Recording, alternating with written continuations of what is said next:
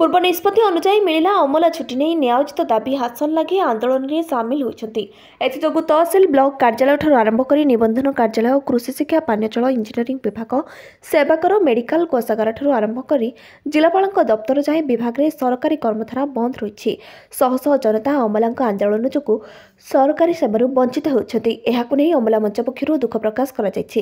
ଏଥିସହିତ ପୂର୍ବରୁ ସରକାରଙ୍କୁ ଏ ବାବଦରେ ଚେତାବନୀ ଦିଆଯାଇଥିଲେ ମଧ୍ୟ ସରକାର କିଛି ନ ଶୁଣିବା ଅମଲାମାନଙ୍କୁ ଆନ୍ଦୋଳନକୁ ଓହ୍ଲାଇବାକୁ ବାଧ୍ୟ କରିଛି ବୋଲି କୁହାଯାଉଛି। ଗୁରୁବାର ସମୂହ ଛୁଟିରେ ସାମିଲ ହୋଇଥିବା ଅମଲା ଜିଲ୍ଲାପାଳଙ୍କ ଦପ୍ତର ଆଗରେ ସମବେତ ହୋଇଥିଲେ। ସେଠାରେ ଏକ ସଭାରେ ଆୟୋଜନ ହୋଇଥିଲା ମିଳିତ ମଞ୍ଚର ଅଧ୍ୟକ୍ଷ ଉଦୟ ନାରାୟଣ ମହାନ୍ତି ଆବାହକ ଆବାହକ ହେମନ୍ତ ପ୍ରଧାନ ରାଜ୍ୟ ନିବନ୍ଧନ ଅମଲା ସଂଘର ରାଜ୍ୟ ସଭାପତି ବିଭୂଦତ୍ତ ବାରିକ ଓଡ଼ିଶା ଅମଲା ସଂଘର ଜିଲ୍ଲା ସଭାପତି ଲଲାତେନ୍ଦୁ ବେହେରା ରାଜସ୍ୱ ଅମଲା ସଂଘର ସଭାପତି ରବୀନ୍ଦ୍ରନାଥ ଦତ୍ତ ଜିଲ୍ଲା ନିବନ୍ଧନ ଅମଲା ସଂଘର ସଭାପତି ଅଜିତ କୁମାର ଦାସ କୋଷାଗାର ଅମଲା ସଂଘର ସଭାପତି ଶ୍ରୀରାମ ମହାନ୍ତି ଓଡ଼ିଶା ଅମଲା ସଂଘର ସମ୍ପାଦକ ସରୋଜ କୁମାର ମଲ୍ଲିକ ରାଜସ୍ୱ ଅମଲା ସଂଘର ସମ୍ପାଦକ ତପନ କୁମାର ସ୍ୱାଇଁ ନିବନ୍ଧନ ଅମଲା କେଶର ସମ୍ପାଦକ ଲଲାତେନ୍ଦୁ କେଶରୀ ସାମଲ ପ୍ରମୁଖ ଅନୁଷ୍ଠିତ ସଭାରେ ଭାଷଣ ରଖିଥିଲେ।